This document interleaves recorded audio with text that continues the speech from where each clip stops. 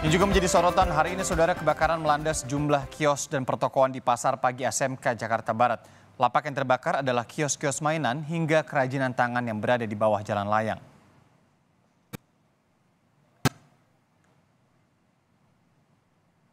Kebakaran terjadi siang tadi sekitar pukul 11 lebih 30 waktu Indonesia Barat. Sebanyak 13 unit mobil kebakaran dan 65 petugas dikerahkan ke lokasi kebakaran. Petugas masih terus berupaya memadamkan api di bagian dalam kios. Sementara para pemilik toko berusaha memindahkan barang-barang mereka. Hingga kini polisi masih menyelidiki penyebab kebakaran.